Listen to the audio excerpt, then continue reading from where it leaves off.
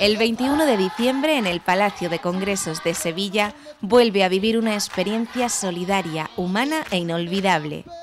Un homenaje a los derechos de la infancia cantado por los niños y niñas de Madagascar. Vuelve a ver a la coral Malagasy Gospel. Vuelve a sentir la magia. Venta de entradas en malagasy.gospel.org.